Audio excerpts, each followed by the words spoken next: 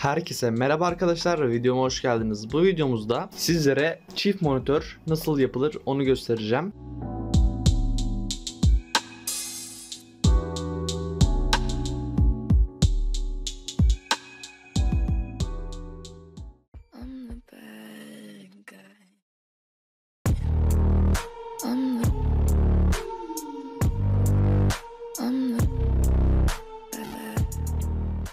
Videoya geçmeden önce hala değilseniz kanalıma abone olmayı ve videoyu beğenmeyi unutmayın. Eğer bunları yaparsanız beni çok mutlu etmiş olursunuz. Şimdi gördüğünüz gibi iki adet monitörü bulunmakta. Benim ilk monitörüm şurada. Gördüğünüz gibi bu monitörüm vardı. Bu monitörüm 60 Hz'di yetersiz kalıyordu bana. Bir tane 165 Hz'lik Razer monitör aldım. Bunun da incelemesini kanalımda bulabilirsiniz. Ee, şimdi sizlere çift monitör nasıl yaptığımı göstereceğim. Ana ekran bu yaptım. Ana ekranı bu monitör yaptım. Yan ekranı bunu yaptım. Ee, bunu yaparak neler yapabilirsiniz? Mesela e, bu monitörde oyun oynarsınız. Bu monitörde de e, Twitch yayını veya video falan izleyebilirsiniz veya müziği Spotify'dan müziği görebilirsiniz. Discord açık olabilir. İstediğiniz şeyi yan ekrandan yapabilirsiniz. E, yan ekranın bir sürü özelliği var. Yani say say bitmez. Gerçekten bayağı güzel. Buradan ekstra masaüstü açıyor size yani ekranı daha çok uzatıyor diye söyleyebilirim. Mesela gördüğünüz gibi imleci buradan buraya geçirtebiliyorum. Şimdi size bunları göstereceğim. Çift monitör yani birden fazla ekran yapmak için ekran kartınızda birden fazla giriş olması gerekiyor. Mesela benimkinde şöyle bir göstereyim size. Benim ekran kartım burada gördüğünüz gibi bir adet DisplayPort bu 165 Hz'lik monitörüm. Buna bağlı DisplayPort'a bağlı. 60 Hz'lik monitörüm HDMI'ye bağlı. Bir de boşta kalan DVI portu var. Bunu kullanmıyorum. Yani ben en en fazla 3 tane monitör bağlayabiliyorum bilgisayarıma. Eğer monitörünüz VGA ise, e, ekran kartınızda VGA çıkışı yoksa dönüştürücülerle beraber güzel bir şekilde buraya bağlayabilirsiniz. Dönüştürücülerde çözünürlük kaybı birazcık var. Onu şimdiden söyleyeyim size. Bu çift monitör yapmak için ekran kartınızın en birazcık iyi olması gerekiyor. Birazcık iyi dediğim e, 1050 Ti, benimkisi 1050 Ti, 1050 Ti civarında bir ekran kartınız olursa çok güzel olur. Daha rahat iki çift monitörü kullanabilirsiniz. Dediğim gibi çift monitör olması için en az iki tane ekran kartınızın çıkışı olması gerekiyor. Bu şekilde.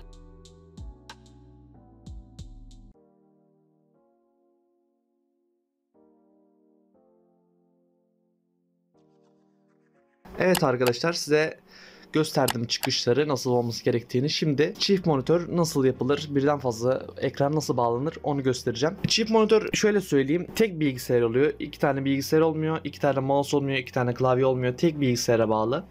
Tek klavyeyle iki monitörde yönetebiliyorsunuz yani. Ekstra bir bilgisayara gerek yok. Yani iki bilgisayar olmuyor. Tek bilgisayardan devam ediyoruz. Mesela ben buradan Steam'i açtığımda Steam'i buraya da şöyle şekilde şu şekilde taşıyabiliyorum e, çift bilgisayar olmuyor. Tek bilgisayar oluyor. Şimdi çift monitör nasıl yapılır onu göstereyim. İlk önce sağ altta Windows 10 kullanıyorsanız şurada sohbet balonu diye bir şey var. Simgesi var. Buraya tıklıyoruz. Tıkladıktan sonra sizde burası daralt, daralttır böyle. Burayı siz genişlete bastıktan sonra burada yansıt diye bir seçenek var. Yansıta bastıktan sonra şöyle bir yer açılacak. Burası açıldıktan sonra gördüğünüz gibi ben yansıt yerinde uzatı kullanıyorum. Yani bunu şu şekilde uzatıyor. Burada yinele var. Yinele yaparsanız bu monitörün aynısını buraya da yansıtır. Şu şekilde bakalım. Gördüğünüz gibi burası da aynı, burası da aynı. Ben bunu kullanmıyorum. Gereksiz siz de bunu kullanmazsınız büyük ihtimal. Uzata bastığımızda şimdi gördüğünüz gibi ekranımız uzadı. Benim birinci masaüstüm şu şekilde bomboş ama e, yan ekrandaki masaüstü bu şekilde çarşöpü buraya doldurdum. e, ben ana ekranımı temiz kullanıyorum. Bunu etkinleştirirsem sadece yan monitörü kullanır. Seçelim bakalım. Gördüğünüz gibi ana ekranım bu oldu ve diğer monitörüm kapandı. Buradan tekrar uzat seçeneğine basıyorum ve ikisini de aktifleştiriyorum. Şimdi e, siz bunu yaptıktan sonra düzgün bir ayar yapmamız gerekiyor ilk önce. Çünkü düzgün ayar yapmazsak saçma sapan bir şekilde şuradan mouse'umuz buradan geçebilir, aşağıdan geçebilir, yukarıdan geçebilir. Biz bunu şu şekilde nasıl yan yana getirebileceğimizi göstereceğim. Şimdi masa üstüne geliyoruz. Sağ tıklıyoruz. Görüntü ayarlarını tıklıyoruz buradan. Gördüğünüz gibi böyle bir pencere açılacak. Bu pencereyi büyütelim şu şekilde. Gördüğünüz gibi burada Şu flash'ı kapatayım. Gördüğünüz gibi burada böyle bir yer olacak. Eğer sizin 3 tane ise burada 3 tane yer çıkacak. Benim 2 tane olduğu için 2 tane şu şekilde gözüküyor. Şimdi gördüğünüz gibi 2 tane yerimiz var burada. Birinciye tıkladığımızda gördüğünüz gibi bunu ana ekranım yap diye bir tik var burada. Yani bu birinci monitörüm. Buna tıkladığımızda, bire tıkladığımızda bunu etkinleştirdim. Yani bu monitörü birinci ekran, ekranım olarak ayarladım. Bu da yan ekranım. Şimdi ikinci ekrana tıkladığımda gördüğünüz gibi bu tik burada yok. Yani bu yan ekranım onu burada belirtiyor. Şimdi e, ikinci monitörümüz neredeyse birinci monitörümüzün yanına koyuyoruz. Mesela ikinci monitörümüz yukarıdaysa, şu şu taraflardaysa, yukarıdaysa bu ikinci monitörümüzü şu şekilde yukarı taşıyoruz. Şu şekildeyse onu ayarlıyoruz. Yani buradan da e, ufak ufak ayarlar yapmanızı tavsiye ediyorum. Yoksa mouse'unuz tam orantılı çıkmaz. Şimdi benim monitörüm tam böyle yanında olduğu için ikinci monitörü şu şekilde tutuyorum. Gördüğünüz gibi yanına bıraktım. Bir de benim monitör tam böyle e, hizalı olmadığı için şuradan birazcık bunu aşağıya çekiyorum. İnce ayar yani. Birazcık çekeyim şöyle. Evet. Artık gördüğünüz gibi tam bir şekilde tam olmasa da yani güzel bir şekilde geçiş yapabiliyorum. Ee, eğer ikinci monitörünüz sizin de küçükse bu şekilde kitap koyarak veya herhangi bir şey koyarak ikinci monitörünüzü yükseltebilirsiniz. bu yani yeni aldığınız e, bir monitörü ana ekranınız yapmak için dediğim gibi birinci ekranı tıklıyorsunuz.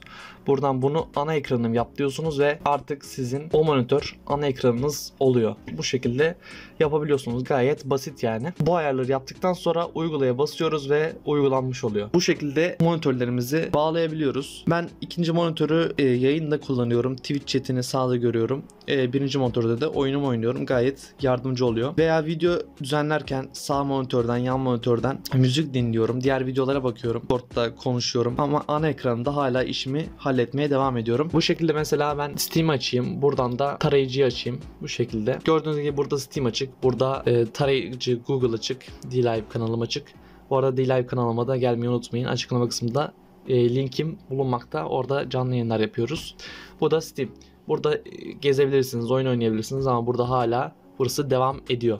Ama bunu tabii ki bu şekilde kullanmak için buradan yansıt yapıp uzat yapmanız gerekiyor. Yine de yaparsınız olmaz. Aynı monitör burada kopyalanmış olur. Çift monitör yapmak bu kadar basit. Videomu izlediğiniz için çok teşekkür ediyorum. Kanalıma abone olup videoyu beğenmeyi ve yorumlarda aklınızda takılan soruları sormayı unutmayın. Açıklama kısmında Discord sunucunuz ve yayın yaptığım platform bulunmakta.